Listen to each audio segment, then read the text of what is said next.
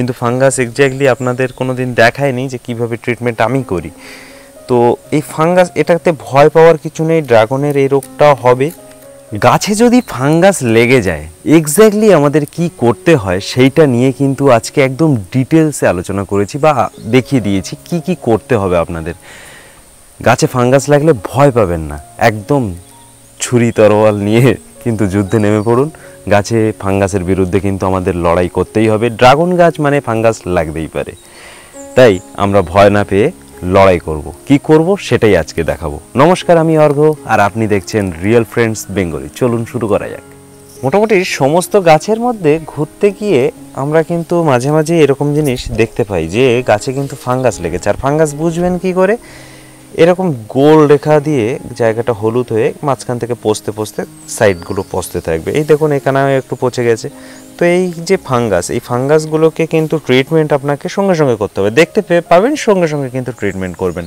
আর exactly আমি কিন্তু সবসময় ফাঙ্গাস নিয়ে বলি, কিন্তু ফাঙ্গাস এক্স্যাক্টলি আপনাদের কোনো দিন দেখায়নি যে কীভাবে ট্রিটমেন্ট আমি করি।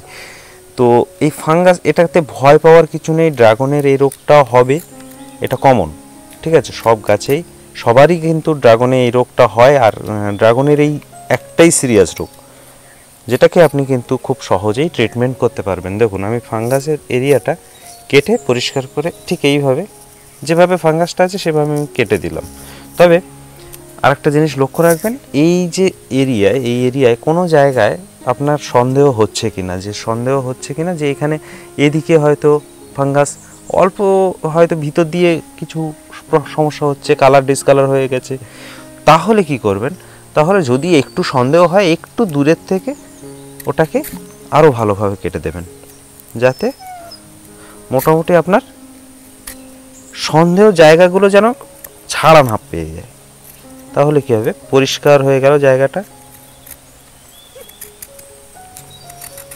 এভাবে আমরা পরিষ্কার করে নিলাম।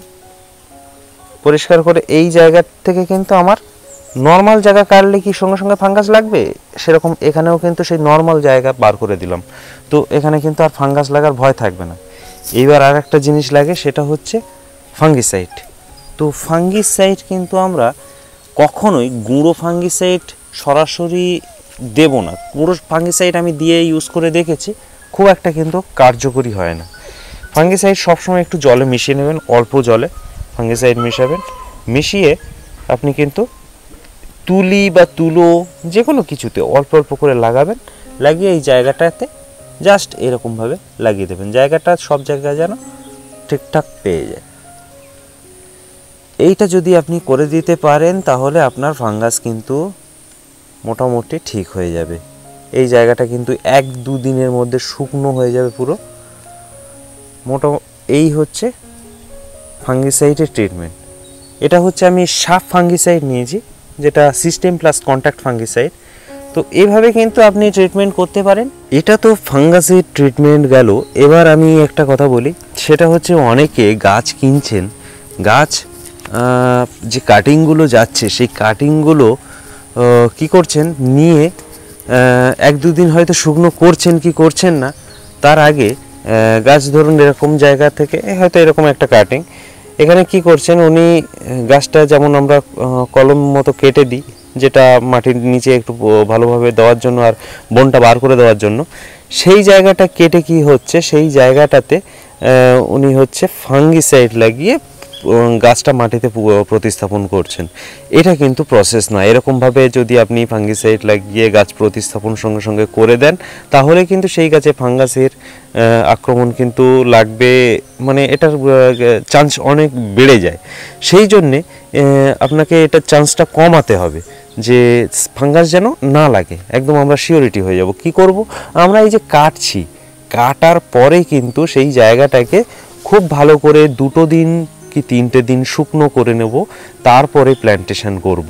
আমরা যখনই গাছে ছুরি লাগাবো, সেই জায়গাটা শুকনো করার জন্য দুটো তিনটে দিন কিন্তু অবশ্যই নিতে হবে। এবং আর একটা জিনিস আমি বলে দিই, সেটা হচ্ছে এই গাছে যখন ফাঙ্গাসের উপদ্রব আপনি দেখতে পাবেন যেটা এখনই আপনাদের দেখালাম, এই যে ফাঙ্গাস জায়গাটা নষ্ট করে দিয়েছে, তো এরকম ফাঙ্গাসের উপদ্রব দেখলে কিন্তু আপনি গাছে জল সঙ্গে সঙ্গে বন্ধ করে দিন। জলের কারণে কিন্তু আপনার ফাঙ্গাস বেড়ে যেতে পারে। তাই আমি এই পদ্ধতিটা বললাম যে জলটা সঙ্গে সঙ্গে বন্ধ করে দিন, তাহলে কিন্তু ফাঙ্গাসটা দমন করা সহজ হবে, অনেকটা ইজি হয়ে যাবে। জল পেলে কিন্তু ফাঙ্গাস অনেক বাড়ে, এটা কিন্তু মাথায় রাখতে হবে। আমরা সব সময় কিন্তু চেষ্টা করব খুব ধারালো স্পেয়ার ইউজ করার এবং সেই স্পেয়ারটা সবার প্রথমে কিন্তু স্যানিটাইজ করা বা ডিসইনফেক্ট করা। আপনি আগুনেও একটু গরম করে নিতে পারেন বা আপনি হাইড্রোজেন পারক্সাইড দিয়ে আপনি ডিসইনফেক্ট করে, করতে পারেন বা স্যানিটাইজার থাকলেও সেটা দিয়ে কিন্তু ইউজ করতে পারেন। তো এইটার কারণে কিন্তু প্রচুর পরিমাণে মানুষের ফাঙ্গাসের আক্রমণ হয়। ফাঙ্গাস কিন্তু এই কাটার জন্য ম্যাক্সিমাম টাইম কাটার জন্যই কিন্তু আসে। তাই আমরা কিন্তু এটার থেকে একদম সাবধানে থাকব। আর একশোরও বেশি ড্রাগন ফলের ভ্যারাইটি আমার মাধ্যমে কিন্তু আপনারা কালেকশন করতে পারেন। আর এটার একটা প্রাইস লিস্ট তৈরি করা আছে, সেই প্রাইস লিস্টটা কিন্তু নভেম্বরে আপডেট হয়েছে। যাদের কাছে পুরনো প্রাইস লিস্ট আছে, তারা কিন্তু আমাকে অবশ্যই নক করুন হোয়াটসঅ্যাপে নতুন প্রাইস লিস্ট পাওয়ার জন্য। আর যারা এখনও পর্যন্ত কোনো প্রাইস লিস্টই পাননি, তারা কিন্তু আমাকে জাস্ট স্ক্রিনে যে নাম্বারটা দেখতে পাচ্ছেন, এই নাম্বারে হোয়াটসঅ্যাপ করুন প্রাইস লিস্ট এইটুকু লিখে সেন্ড করলেই কিন্তু আমি আপনার নাম্বারে অবশ্যই প্রাইস লিস্ট সেন্ড করে দেবো। আর ভিডিওটা ভালো লাগে থাকলে লাইক শেয়ার কমেন্ট তো অবশ্যই করবেন। তার সঙ্গে রিয়েল ফ্রেন্ডস বেঙ্গলি চ্যানেল মানেই কিন্তু ডিটেলসে খুঁটিয়ে খুঁটিয়ে জানার চ্যানেল তাই যে সমস্ত দর্শকরা এখনও পর্যন্ত আমার চ্যানেলকে সাবস্ক্রিপশন করেননি, তারা কিন্তু নিচে লাল রঙের সাবস্ক্রাইবার বাটনে ক্লিক করে পাশে থাকা বেল আইকনে ওয়াল সিলেক্ট করে দিন। এটুকু করলে আমার চ্যানেলের সাবস্ক্রিপশন আপনি কমপ্লিট করতে পারবেন। সঙ্গে আমার চ্যানেল থেকে কোনো নোটিফিকেশান কখনোই মিস করবেন না। তার সঙ্গে ভিডিওটা এই পর্যন্ত। দেখা হবে পরের ভিডিওয়ে ধন্যবাদ, ভালো থাকবেন। নমস্কার।